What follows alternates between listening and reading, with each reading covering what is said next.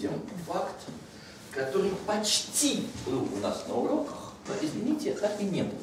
А это очень обидно, когда всю подготовительную работу сделали, а, собственно, саму красивую теорему не доказали. Представьте себе, что у нас имеется число сочетаний и какое-нибудь простое число p. Пишем p простое.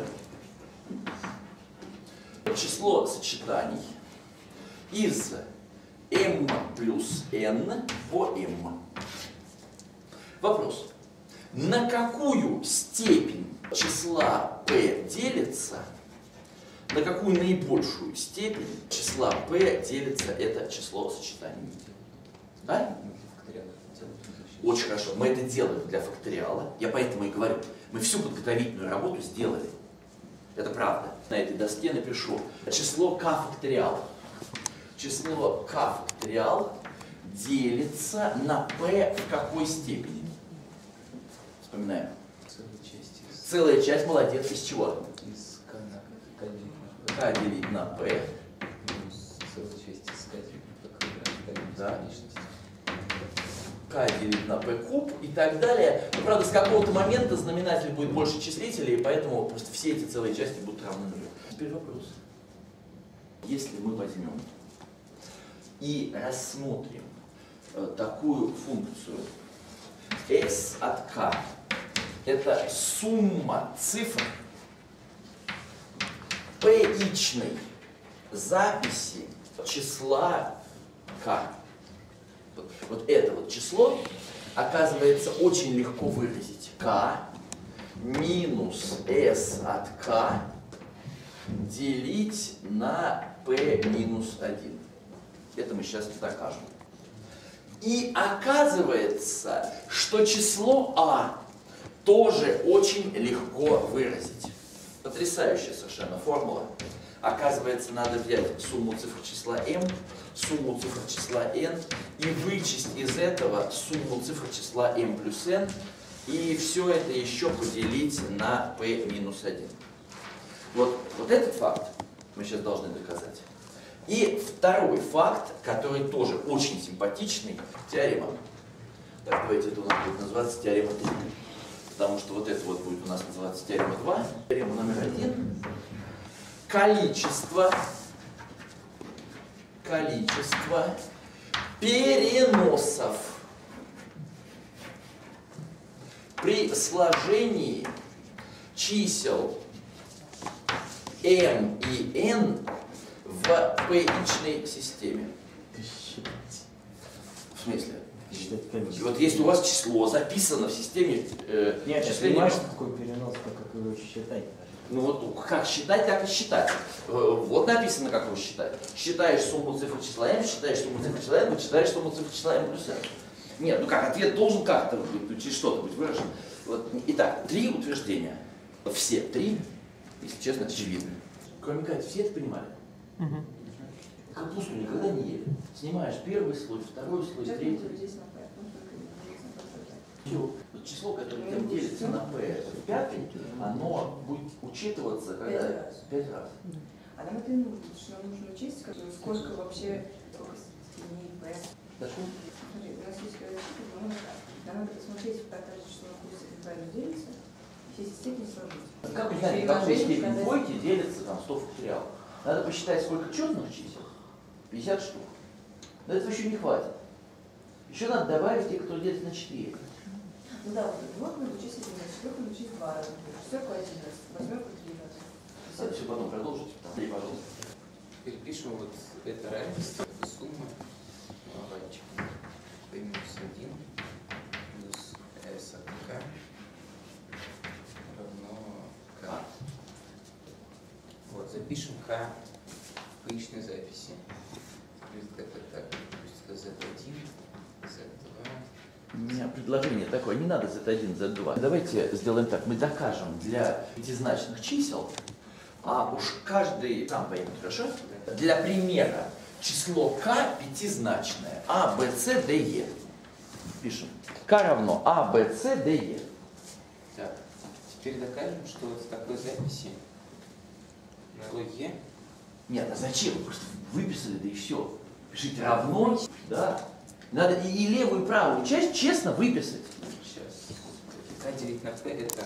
Нет, А. не надо ходить, да. Пишите. значит, К равно. Не поленитесь, одну минуту потратить и все. К равно по определению поичной записи. А умножить на P степени 4. Да, совершенно верно. На P Все понимают? квадрат плюс D плюс, э, D, э, плюс Е. Плюс Е, конечно. Теперь пишем К делить на П равно. Так, Целая часть. целая часть из... Да.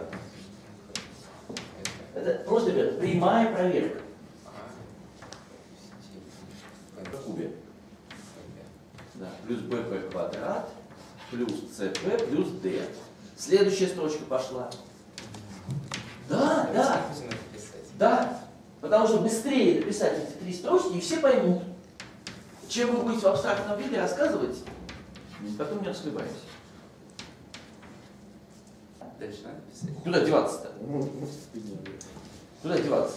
К делить на P куб э, и К на в четвертом. Конечно. Теперь заметьте, что каждое следующее становится чуть-чуть короче, да? Чуть-чуть. Да. А вот следующий уже не будет. Потому что А меньше, чем П. Ну, Так, ну, теперь, смотрим, сколько раз, допустим, входит Е. Сюда, сюда она ни разу не вошло, а в сумму цифр она вошла один раз. Соответственно, здесь она действительно окажется один раз. Все понимают? И с левой и с правой части она окажется один раз Е у нас. Да, все правильно. Теперь то же самое надо проверить про D. Оно у нас вошло один раз. Вот здесь вот один D. Да, да. P минус один. Еще, И еще раз D. Сколько будет? значит, с этой стороны P раз. Согласны? Как и надо. Здесь у нас D умножить на P минус 1 Да, да, да, да, да. Эта сумма это А плюс Б плюс С плюс D плюс Е. Да. А, а эта сумма вот всех вот Да, хорошо. Про D проверили. Про C. Про С. Она встретится у нас здесь P раз и здесь один раз. То есть P плюс 1. Это P плюс 1 на P минус 1 получится P квадрат минус 1. Еще один раз отсюда, значит здесь на P квадрат раз. Столько нам нужно. С этой стороны. Да. Осталось еще две буквы. P. P, тут нас P, P квадрат плюс P плюс 1. Умножить на P минус 1, P куб минус 1. Все помнят эту формулу? P квадрат плюс P плюс 1 умножаешь на P минус 1, получаешь P куб минус 1. P минус 1 плюс и так далее плюс единица умножить на P минус 1, это P минус Да, 1. ровно про это разговор. И последний про букву А. P, она встретится у нас P в кубе плюс P квадрат плюс P плюс 1. Раз умножить все это на P минус 1, то есть P в четверке минус 1, плюс еще один из этой. Значит, Поняли? Оно И дальше механизм будет ровно такой. Первую теорему доказали. Число сочетаний из m плюс n по. Это m плюс n факториал делить на n факториал на n факториал. Совершенно. Если сюда у нас число p входит x раз, Да-да-да. Сюда Y раз, туда Z раз, z да. то во всю Сюда, в смысле, в каноническую запись э, сложение на простые множители. сюда X минус y минус z раз. Да. Все понимают?